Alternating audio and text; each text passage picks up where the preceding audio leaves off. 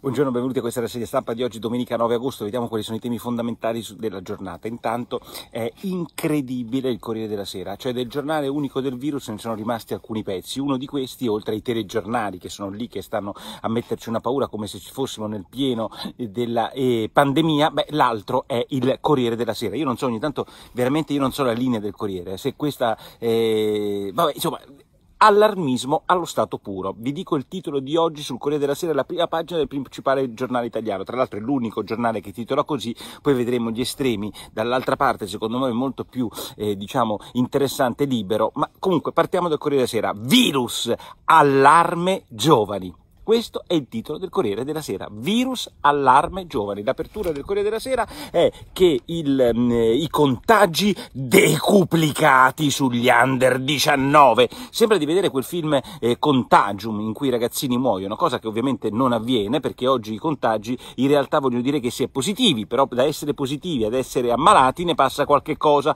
Lo dice Porro, lo dice un negazionista, sempre per citare Ricolfi, o lo dice forse lo stesso Corriere della Sera? Lo dice lo stesso Corriere della Sera. Quindi Ricordatevi bene, prima pagina del Corriere della Sera, virus, allarme giovani, decuplicati i contagi sugli eh, under 19, poi vai a leggere, pagina 2 pagina 3, due pagine dedicate a questo allarme, c'è un taglio basso, cioè un articolo che intervista Ippolito dello Spallanzani, uno degli ospedali che sperimenterà il vaccino a novembre per 90 persone, e Ippolito dice, ma insomma il, il fatto che ehm, eh, ci siano contagi tra i giovani vuol dire un minor rischio di sovraccarico dei servizi sanitari. Avete capito cosa dice Ippolito? Minor rischio di sovraccarico dei servizi sanitari, perché i sintomi sono lievi, non più lievi, sono lievi e non si ammalano. Cioè il fatto che lo prendano i giovani è un dato positivo, dice Ippolito, perché il fatto che siano positivi non contagia e non, non, non comporta nulla. Il fatto che ci siano decuplicati giovani a cui non gli vogliamo far fare la movida, a cui non gli vogliamo far andare in discoteca,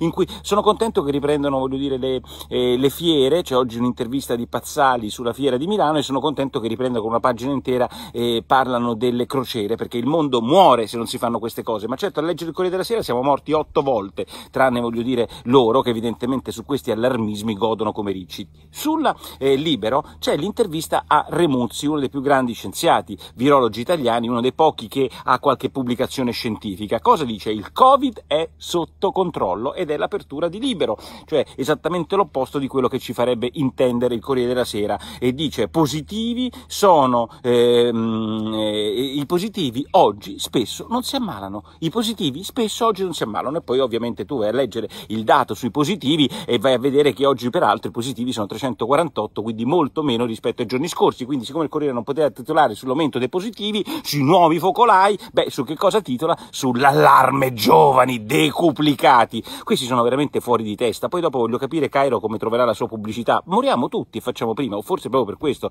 perché pensa che il giornale non lo, conter- non lo terrà in mano ancora per tanto tempo. La verità invece utilizza l'altro suo cavallo di battaglia, e cioè un positivo e su eh, due, uno su tre, è straniero. Il 40% dei nuovi contagi arriva dall'estero, dice il presidente del Piemonte Giro, e più o meno la stessa cosa avverrà in Veneto. Positivi che non vuol dire ammalati, però se uno dovesse pensare che c'è un'emergenza è quella dicono, e con qualche ragione, i giornali di destra, ma ragazzi se c'è un'emergenza non facciamo venire questi immigrati che vengono come se fosse tutto aperto. Poi, secondo tema di giornata, che ovviamente non trattano i giornaloni, ma oggi forse il più forte resta e comunque il messaggero, eh, sono le bugie di di Conte.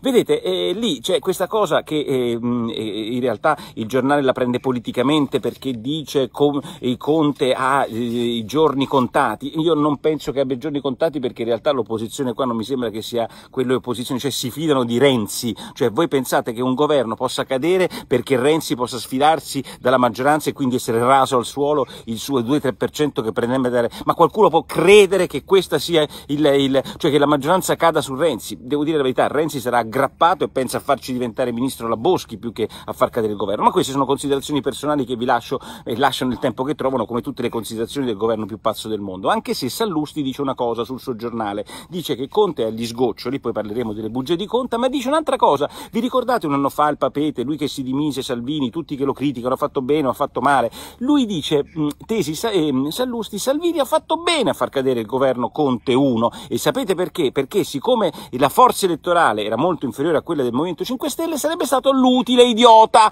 cioè il, la mosca sopra il naso dell'asino, come direbbe Gramsci o qualcuno eh, come lui, che pretendeva di dare lui la direzione all'asino. Questa è la tesi di Sallusti oggi sul giornale, ma è una tesi che in realtà dice eh, eh, il vero errore eh, Salvini l'ha fatto dopo aver fatto cadere il governo, perché lì avrebbe dovuto guidare il centrodestra e, e aver cercato di, eh, doveva cercare di allargare il centrodestra più che e ridurlo eh, a eh, diciamo, consenso elettorale del, del, suo movimento che peraltro è diminuito. Quello che è certo è che il movimento del centrodestra è anche difficile, però c'è un gran casino e comunque i leader si vedono nel casino. Adesso la Meloni sale, Salvini un po' scende, Forza Italia sta sempre lì tra il 6 e il 7%, insomma non mi sembra che il centrodestra sia in una forma smagliante, comunque non c'è un'alternativa di quelle che dici cazzo adesso vanno via giù questi e, e ne mettiamo quelli, altri. Chi? Mettiamo il centrodestra di Salvini che non vuole il MES o il centrodestra di Berlusconi che vuole il MES, vediamo il centrodestra, vabbè, insomma, avete capito, il centrodestra della Ronzulli che oggi fa un'intervista in cui dice bene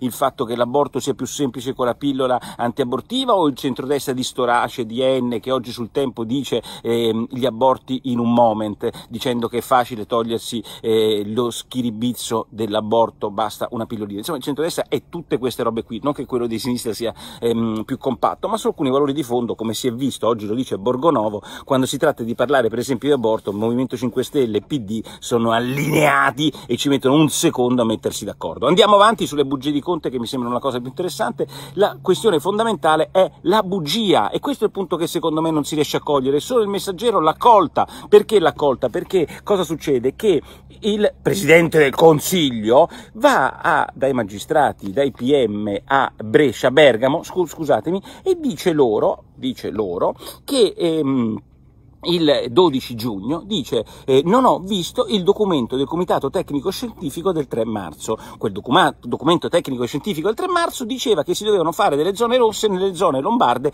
che avevano i primi contagi. In quella riunione del CTS del 3 marzo hanno partecipato anche Fontana il suo direttore scusatemi Gallera il suo direttore generale hanno detto guardate che qua è un gran casino. Il CTS dice un gran casino fate la zona rossa manda questo verbale a Conte Conte il 12 giugno dice PM non l'ho mai visto se non che poi dopo in un'altra intervista dice ah sì l'ho visto ma l'ho visto il 5. Allora, toc toc, Travaglio e grandi difensori di Conte. Conte ha detto una bugia. Poi dopo io, vedete, lo scuso Conte sulla questione, poteva fare la zona rossa, non poteva farla, poteva farla prima, ha fatto male il lockdown, ha fatto bene il lockdown, era un tale casino che secondo me era difficile fare la cosa giusta, ma il punto è che quello lì non ci facesse il pretino, il, l'avvocatino di Foggia che non sbaglia un colpo. Ragazzi, stiamo parlando di Conte e Casalino, prendiamoci sul serio, ancora stiamo lì a pensare, ha detto giusto, questo si prende i plichi, parla bene, si toglie gli occhiali, ce l'ha otto otto pochette, c'è 12 amanti, ma oh, no, non c'era 12 amanti, ma quello che voglio dire è, noi diamo credibilità a questo qui, come se fosse una specie di Aldo Moro della politica italiana del, del, del, degli anni zero. Ragazzi, questo ha detto una minchiata, ha detto ai PM,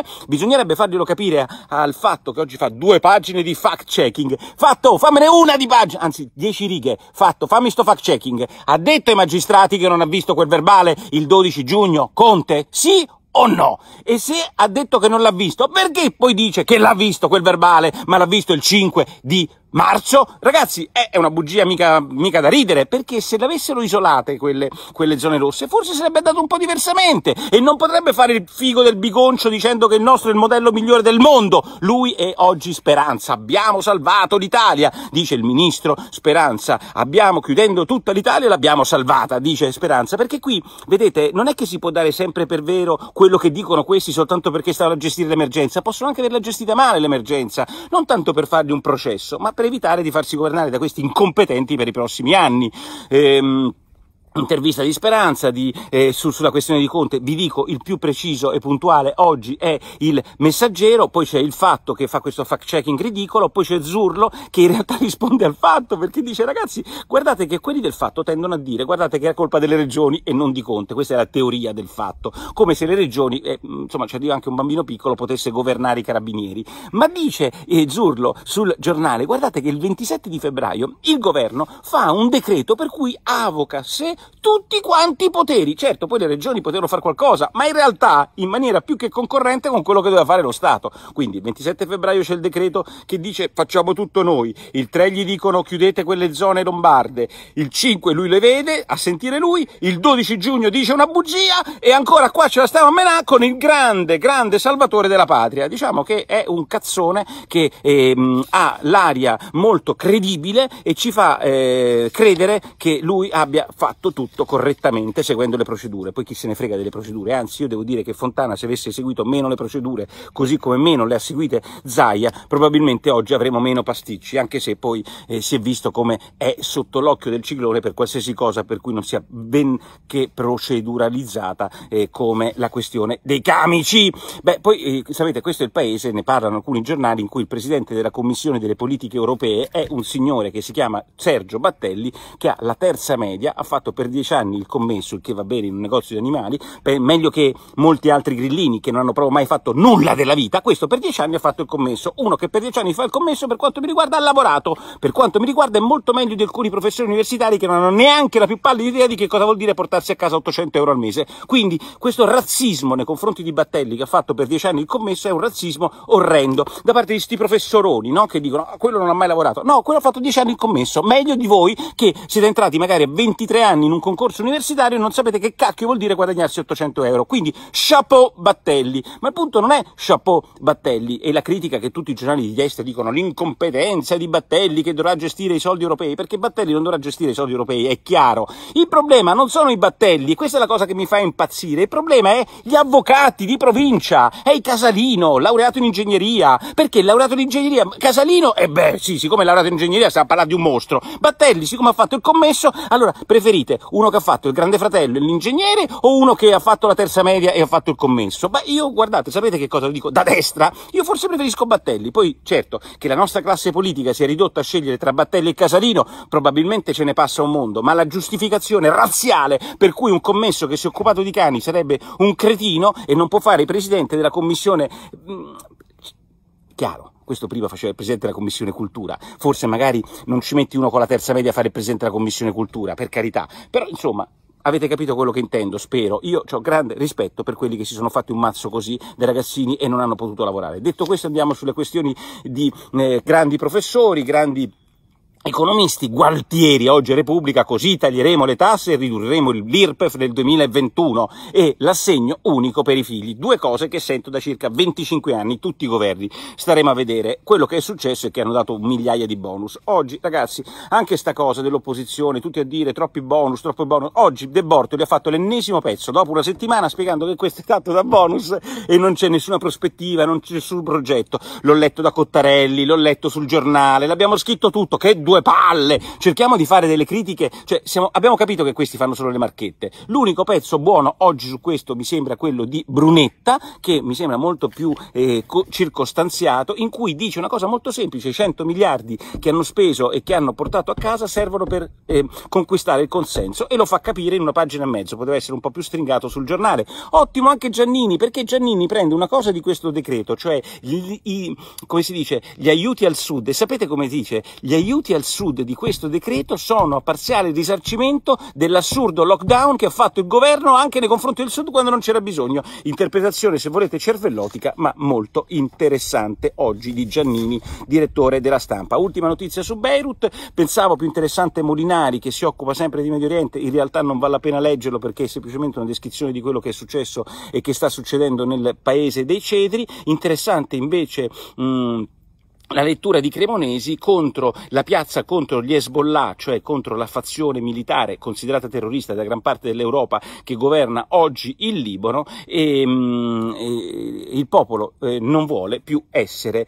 eh, definito eh, come si dice, colonia iraniana. Infine straordinario i cinque parlamentari che hanno chiesto gli, i 600 euro all'Inps, cioè questi si prendono 12.000 euro e hanno diminuito il nostro durante il lockdown, siccome non abbiamo potuto lavorare, hanno chiesto come una partita IVA qualsiasi 600 euro e li hanno ottenuti dall'Inps. Fantastico. I nomi non ci sono, la notizia è da Repubblica, ma vedrete che come cani e segugi andremo a cercare i nomi e cognomi perché l'anticasta, se riguarda i grillini, ci fa godere come dei ricci. Purtroppo è una, eh, come possiamo dire, è una triste ricompensa rispetto a un mondo per cui il merito appunto non si premia. Ciao!